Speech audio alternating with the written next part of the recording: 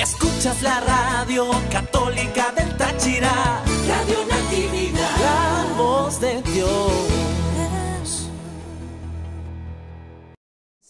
Hoy vamos a iniciar los capítulos 12 al 50, que es tarea continua seguir leyendo, porque en la medida que vayamos leyendo, el Señor nos va iluminando y nos vamos más enamorando y entendiendo este caminar en esta iglesia peregrina que estamos haciendo.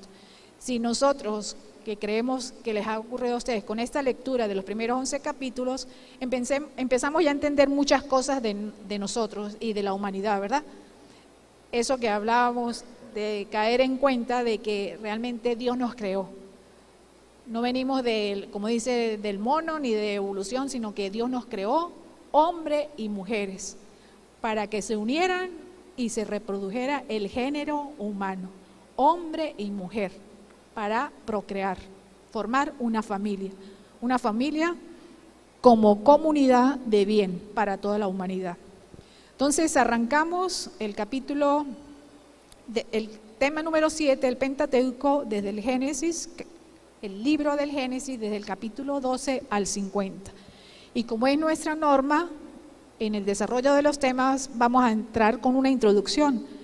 En este tema dice, frente a la historia del hombre, que resultó ser una historia de alejamiento de Dios y de pecado, Dios propone su historia, la historia de salvación, que comienza con Abraham.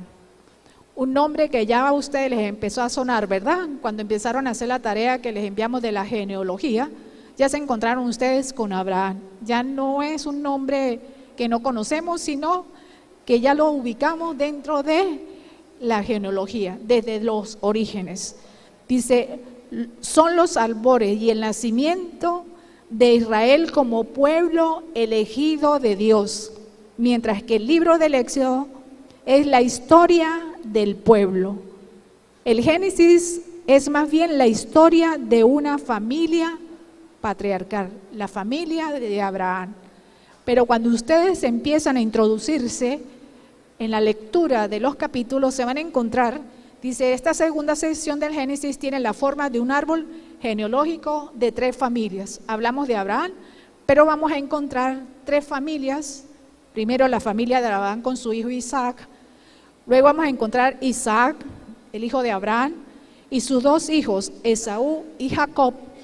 Y también nos vamos a encontrar con Jacob y con doce descendientes, los padres de las tribus, las doce tribus de Israel que ya estuvimos hablando en jornadas anteriores. Entonces nos vamos a encontrar con tres familias, la de Abraham, la de Isaac y la de Jacob. O sea que tienen tarea, ¿verdad? Continuar desarrollando el árbol genealógico. Dice, con los relatos de los patriarcas se entrelazan noticias de otros personajes emparentados con ellos, como Lot, Lot que es sobrino de Abraham, hijo de un hermano que murió muy joven, pero que lo crió el papá de Abraham y tenían una relación muy cercana, sobrino y tío. De Ismael, el hijo de Agar, el hijo de la, de la esclava. Y también nos vamos a encontrar con Esaú. Y después con otros relatos independientes como el de Siquén y Dina y el de Judá y Tamar. Eso es más o menos los relatos de los patriarcas y de las relaciones con otros dentro del el desarrollo de la historia de salvación. Dice, la historia de cada, una, de cada una de estas familias forma un ciclo con personalidad propia, no solo por ser distintos los protagonistas, sino también por la forma en que las tradiciones se conservaron y posteriormente se redactaron. Entonces, presente Abraham, Isaac y Jacob. Van a ver que la historia se va entrelazando y va llevando una secuencia. Por eso es historia de salvación. Entonces, el objetivo doctrinar para este tema, en esta jornada, es conocer los inicios de la historia de la salvación y el objetivo vivencial es aprender y asimilar en nuestra vida las maravillosas lecciones de estos patriarcas, con quienes Dios hizo su alianza. tenemos dos objetivos, el doctrinal y el vivencial. Doctrinal, vamos a conocer los inicios de la historia de la salvación. Y el segundo, aprender a asimilar en nuestra vida las maravillas lecciones de estos patriarcas con quienes Dios hizo su alianza. Y la tesis que vamos a desarrollar es que Dios quiere formar su pueblo.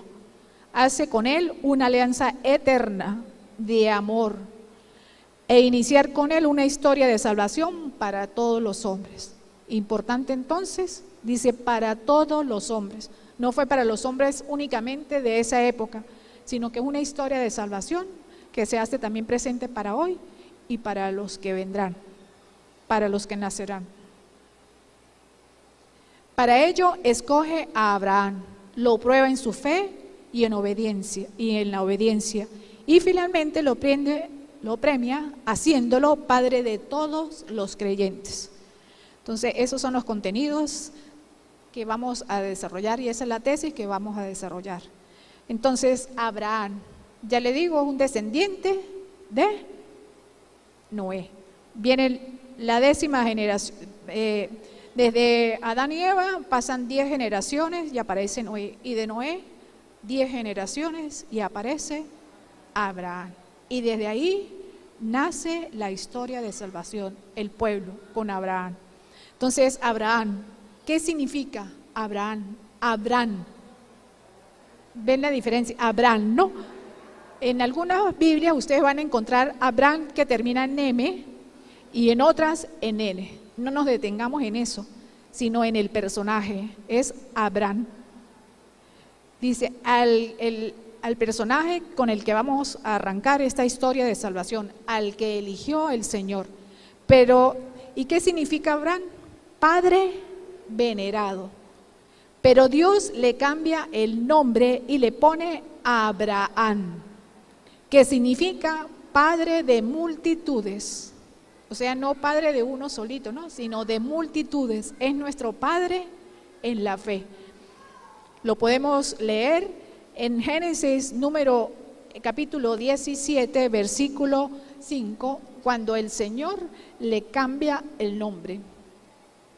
Dice, ya no te llamarás Abraham, sino Abraham, porque te hago padre de una multitud de pueblos. En ese momento Dios le cambia el nombre. Dios cambia el nombre a la persona cuando lo elige para una misión. A Abraham, Abraham lo llama y le cambia el nombre cuando le lo envía a cumplir una misión. Lo hará padre de una multitud de pueblos. Pero ¿quién es Abraham? Y entonces vamos a ver de dónde es Abraham, dónde, eh, nace Abraham. El papá el papá de Abraham, Terap, ese era un, una, pertenecía a los pueblos nómadas, o sea que no se instalan en un sitio, no son sedentarios, no están instalados en un sitio, sino que cada cierto tiempo se van moviendo con su ganado, con, su, con el ganado, con todo lo que crea y con la familia se van moviendo de pueblo en pueblo buscando el alimento para su ganado y para su misma familia pueblos que se van moviendo. Y así era el papá, Terá. Era una familia nómada que llega a Ur, que se encuentra, si van a ver el mapa que está en pantalla, se encuentra hacia el lado eh, derecho, está Ur de Caldea. Ahí se instala Terán y su familia y ahí nace eh, Abraham en el sur de Mesopotamia, perteneciente a la tribu de Terá, nómada que se había establecido en los valles regados por el Tigres y el Éufrates. Recuerda cuando les hablaba del creciente fértil, perteneciente a ese creciente fértil, que era una tierra muy eh, fértil, donde se conseguía tanto el agua como eh, la vegetación propia para alimentar sus ganados. Ahí hace la vida Terán con su familia. Van creciendo, crece sus propiedades. Pero llega un momento en que el que gobierna esa zona, el gobernante, empieza a acosar a los nómadas. Ellos eran una familia que venía del oeste, del oeste se instalan ahí, pero cuando empieza la persecución se ven eh, obligados a abandonar Ur y suben a Harán, hacia la parte norte.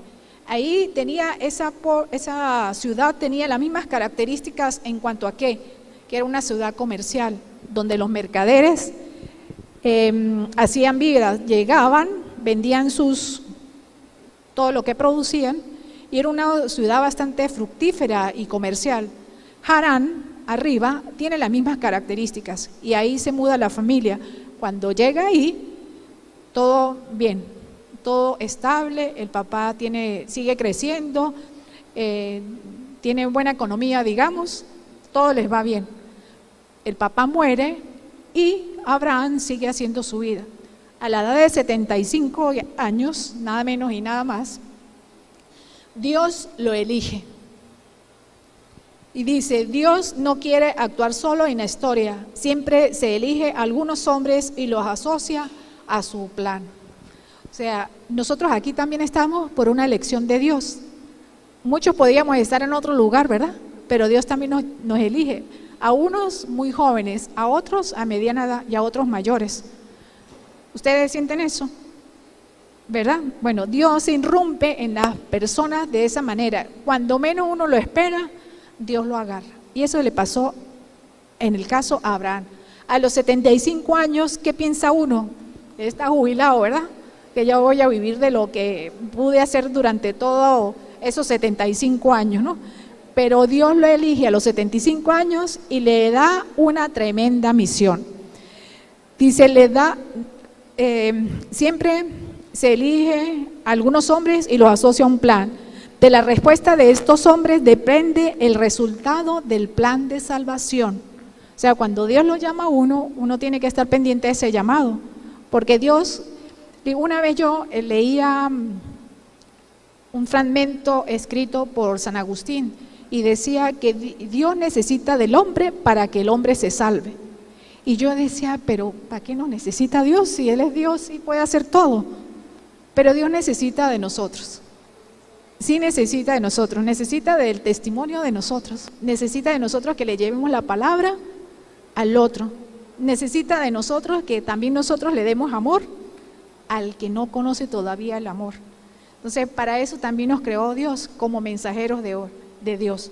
Entonces, si nos depende de la respuesta del hombre, el plan de Dios puede ir avanzando, pero si nosotros no colaboramos con Dios, exacto, si nosotros, por ejemplo, nos negamos a llevarle la palabra de Dios a otros hermanos que hoy día no conocen la palabra de Dios, ¿cómo seguirán esos hermanos?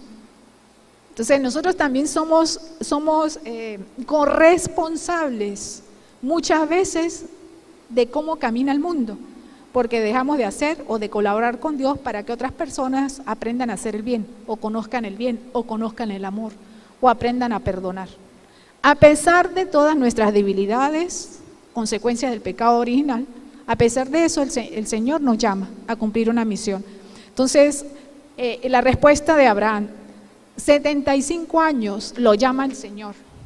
Y lo que a mí me llama la atención de Abraham es que él no preguntó, ¿por qué? ¿Por qué me va a llamar ahora a mí a los 75 que ya estoy aquí instalado con mis vaquitas, con mis cabras, con mis ovejas, con mi tienda? Porque vivían en tiendas, con mi tienda y todo, cuando yo ya me podía echar aire. Él, él no, él no pregunta por qué ni para qué siquiera, sino en obediencia y en silencio, escucha al Señor y se pone en camino. Y Dios elige a Abraham y le hizo estas promesas. Dice, tendrá una descendencia numerosa. Ustedes han escuchado el relato, ¿no? Dice, yo con 75 y Sara tenía, Saraí tenía 10 años menos, con 65. Y yo con 65 vamos a, a tener descendencia, como que no, pero él no preguntó ni siquiera, en ese momento del llamado no preguntó, sino en silencio. Dice, poseerá una tierra. Tampoco preguntó cuál, sino también en silencio. Y será fuente de bendición para todas las naciones de la tierra. ¿Entendería Abraham en ese momento toda la magnitud de esa promesa que le estaba haciendo Dios? Si no la hace nosotros ahorita, imagínense que tuviéramos esa edad 75 y 60, 75 y 65 años y no digan descendencia numerosa, que nos digan poseerán una tierra y que nos digan serán fuente de bendición para todas las naciones. pero Abraham obediente en silencio. Y voy a, les presento aquí un, un cuadro para que vean la magnitud de esa respuesta que da a Abraham, cómo colabora Abraham desde su sencillez, desde su vejez, todo lo que contribuyó para que el plan de Dios siguiera adelante y se cumpliera. Entonces, con Abraham, Dios promete a Abraham tierras, un reinado y una bendición universal. Cada una de estas promesas se cumplirá en otra alianza posterior. Dice, y Dios reforzará cada promesa con una alianza bajo juramento. Y en el cuadro de abajo vamos a ver, en Génesis 12 vamos a encontrar tres promesas. Una de ellas es una tierra y una nación, que dice, vete a la tierra que yo te mostraré. Abraham no pregunta cuál. Dice, dice el Señor, y se cumplirá con la alianza que hace con Moisés. La promesa se cumple con la alianza que, se hace, que va a hacer con Moisés. No les voy a explicar porque cuando lleguemos a Moisés vamos a hacer memorial, vamos a recordar y vamos a ir hacia atrás, hacia el Génesis 12 y vamos a ver que lo que el Señor promete, lo cumple. Esa primera promesa la cumple con Moisés. La segunda, un reinado y un nombre. Dice, te bendeciré y engrandeceré tu nombre. Se cumplirá con la alianza con David, el reinado. No, en ese momento Abraham no sabe que de él nacerá la realeza, una descendencia en David y que después llega con Jesús. En el árbol genealógico ustedes van a ir viendo esa secuencia y cómo el plan de Dios se va desarrollando en la medida que el hombre coopera y ayuda en el cumplimiento de la voluntad de Dios, en los planes de Dios. Y después la tercera dice, una bendición para todos los pueblos. En ti serán bendecidos todos los pueblos de la tierra. O sea, no solamente el pueblito de Israel, no. Digo pueblito para decir tamaño, pero el pueblo de Israel, tremenda compromiso y tremenda elección había hecho el Señor. No solamente la promesa era para el pueblo de Israel, sino para toda la humanidad, para todo el mundo. Y esa se cumple con Jesús, el Salvador. Ya se van a dar cuenta cuando sigamos desarrollando las Sagradas Escrituras, como lo que el Señor promete se cumple. Dice, con la elección de con la elección Dios le pide unos compromisos o sea, Dios pide siempre unos compromisos. El monoteísmo. En esa época ya existía el politeísmo. Adoraban varios dos dioses. ¿Recuerdan lo de la Torre de Babel? ¿Sí? De ahí nacen los sigurat. Los sigurat eran los monumentos gigantes tipo pirámide que hacían altísimos como para mostrar el poder y encima hacían los santuarios donde adoraban a los dioses. Eso era muy normal en esa época en el pueblo pagano. A Abraham, porque por ejemplo en Ur había uno muy alto, muy alto, para mostrar la, como la grandeza ¿no? de los dioses. Pero Dios no, no, se muestra en un, eh, eh, como dicen, un monumento. Dios es presencia, Dios es eternidad. Recuerdan cuando lo hablamos en el capítulo 1 al 11, ¿verdad? Entonces Dios le pide a Abraham monoteísmo, fidelidad a Él al Dios de Abraham. Le pide rectitud moral, anda en mi presencia y sé perfecto. Rectitud moral, anda en mi presencia y sé perfecto. Y le pide fe, dice, es decir, docilidad absoluta a la voluntad de Dios. Todo lo que el Señor le iba indicando, el Dios de Abraham, Abraham le creía y lo iba haciendo. Dice esas características que colocamos ahí, hombre de silencio en cada etapa. Esa es una de las cosas también que llama mucho la atención y cuando ustedes lo lean. Abraham sale en silencio a cumplir la misión y en cada parada levanta. Recuerda un pueblo nómada, la casa es una tienda, una carpa y ahí hacen vida y ahí al lado colocan, como dice la, marcación de los corrales, el ganado, las cabras, las ovejas, todo lo que llevan los camellos. iban haciendo vida. Donde ellos iban haciendo paradas, Abraham iba levantando un altar a donde adoraba al Señor. Siempre en silencio. Solamente y en Génesis 15 vamos a encontrar una queja que le hace Abraham cuando ya tenía 86 años, que ya había pasado tiempo, ¿no? Y, como diciendo, mire, una descendencia y todavía ya de 75 vive en 86 y todavía no me ha llegado el descendiente, ¿no? Quien va a heredar, heredar, pues no va a ser un hijo carne de mi carne, sino el hijo del, criado o, un criado. Entonces es la única vez que hace como un reclamo al Señor o una aclaratoria, ¿cómo, cómo es eso que una descendencia todavía no? y el Señor le confirme que el que lo va a heredar es alguien carne de su carne. Cuando da a luz, eh, Sara, con 89 años, da Sara eh, a luz a Isaac. Entonces, eh, y también una de las cosas cuando hace, se hace ese reclamo de Abraham, llama la atención algo. Es un momento de oración, de intimidad de Abraham con Dios, que se comunica con él. A veces este, decimos, bueno, vamos a acercarnos a Dios para pedirle, para eso, pero también nosotros como amigos que debemos ser en nuestra relación con Dios, pues también a veces lloramos y nos podemos quejar con Él. Así también como dice, bueno, y la descendencia, ¿dónde está que no me la... y que usted me prometió esto, ¿no? Hablar así de amistad. Entonces eh, hay una enseñanza ahí del tipo de oración y de cercanía que Abraham tenía con Dios aunque andaba en silencio y en obediencia, también fue capaz de sentarse y hablar desde su propia humanidad con Dios y hacer ese, para Abraham como el justo reclamo, ¿no? ¿Para qué, para todo esto si dónde está la descendencia?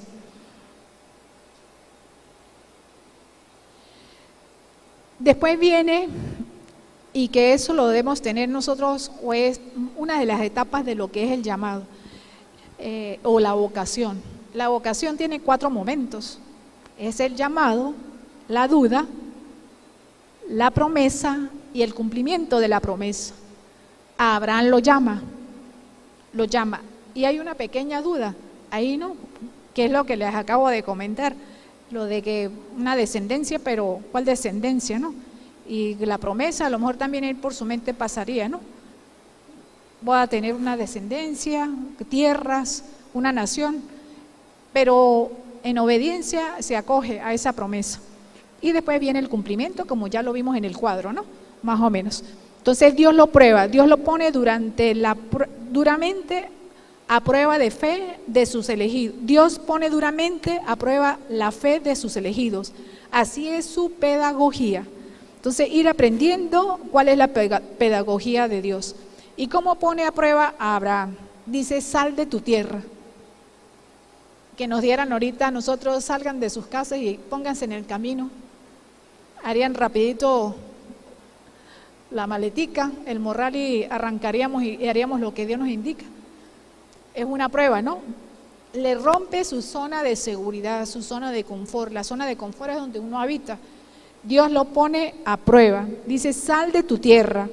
La tierra era lo más querido para un hombre de ese tiempo.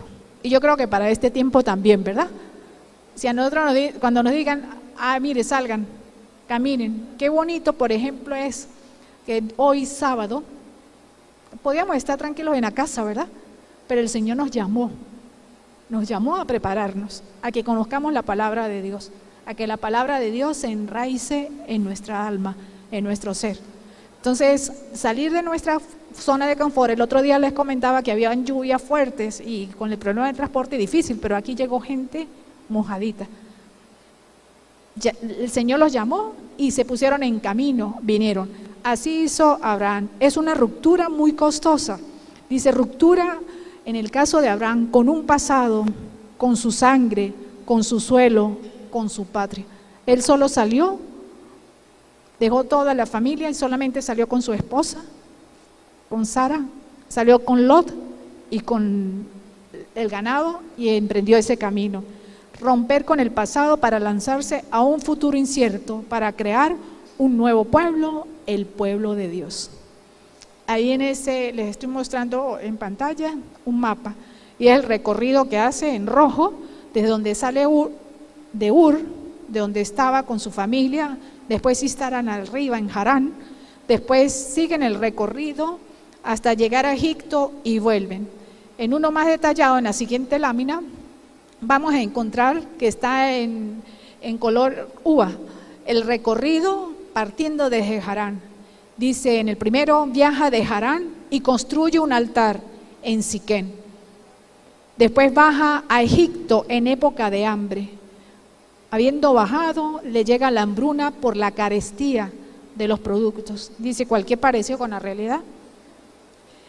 Pero baja y se va a Egipto. En Egipto presenta a su esposa, no como su esposa, sino como su hermana, porque era muy linda. Y entonces ahí el faraón pues empieza a mirar y todo para llevársela al faraón. El Señor le avisa que ella es la esposa de Abraham. De ahí le toca salir, regresa y se establece en Mambre. Cuando sale de Egipto va rumbo a Negev, al desierto, y de ahí sigue y se establece en Mambre. Les estoy mostrando este mapa para que vean el recorrido, que de estar estable ya en Harán, empieza a hacer un recorrido, empieza la prueba, el ir y hacer un recorrido, baja hasta Egipto, sube a Mambre, luego se, traslada otra vez a Gerer, después hace un trato con el rey de, los filisteos, Abimelech, en Berseba, luego sigue el viaje o ese recorrido, viaja a Moria para sacrificar a Isaac. Y de ahí regresa otra vez a Berseba, de ahí va y compra la cueva de Mapela a Efren, elitita, y ahí de entierra a Sara. Y ahí en esa misma cueva lo enterrarán a él y enterrarán a los descendientes, como más adelante les va a demostrar Sarita. O sea, le fue fácil el recorrido, no dijo vamos aquí a Tariba, ¿no? Sino de ahí, mire, o sea, para donde el Señor lo iba llevando. Y ese es el, eso es la prueba. Y no una prueba, sino que Dios permite todo, porque en ese caminar Él se va fortaleciendo en su fe, en la confianza del Señor y sobre todo en hacer la voluntad de Dios, en ya saberse que es una persona elegida de Dios para una misión. Y sin preguntar mucho, sino de la obediencia, el caminar. Y Dios lo prueba con, con lo, como dice, con lo más querido en ese momento. Dios lo prueba con el sacrificio de su Hijo. Ya le decía que lo llama a los 75, a los 86 hace, como dice el reclamo, y todavía desde los 86 tuvieron que pasar 13 años hasta la edad de los 99, cuando nace su hijo Isaac. Poquito tiempo. Fueron casi los 25 años esperando por su primogénito, por su hijo.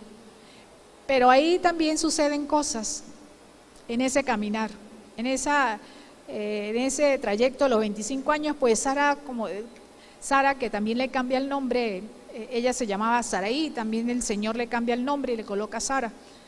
Le, asigna un nuevo, un nuevo nombre para la misión. Pero misma Sara, que tenía una esclava, Agar, pues llega un momento y dice, será que lo que quiere el Señor, lo que quiere Dios es que tú tengas un descendiente, Abraham, pero quizás no es por mí, sino por otra mujer.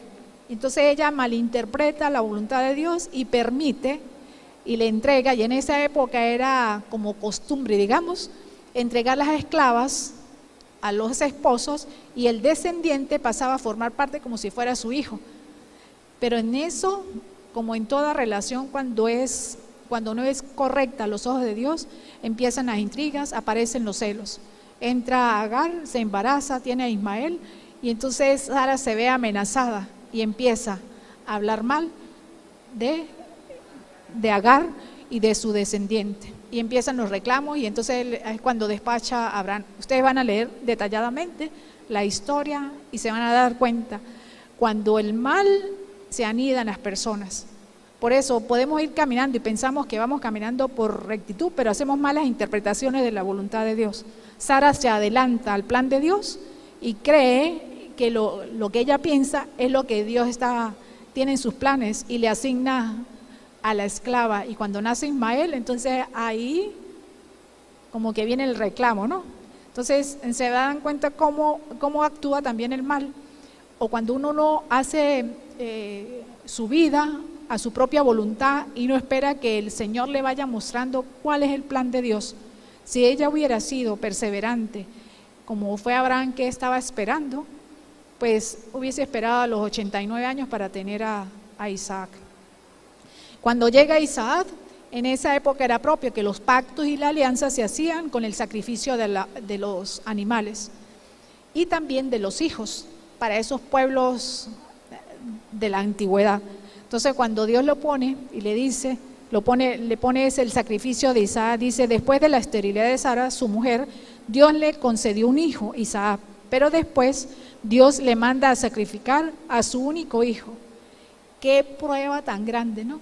Después de haber esperado tanto tiempo para, y pedirle el sacrificio. ¿Y qué hizo Abraham? Calladito, ¿no? Tomó el muchacho, tomó la leña y emprendió el viaje a donde el Señor le indicó. La respuesta de Abraham en las pruebas, de la, en las pruebas es la fe. Preguntarse uno, ¿no? ¿Tenemos la fe de Abraham en estos momentos que estamos caminando en prueba? A veces nos impacientamos, ¿verdad? Porque no se hacen las cosas y, en nuestra mente se nos las ideas no vienen y el por qué y ta y ta pero hay que esperar el tiempo de Dios. El plan de Dios se va cumpliendo según las etapas. Dice características de esa prueba de Abraham. No pregunta, no discute, cree, confía en el Señor, obedece y se entrega a Dios. Un abandono total en Dios.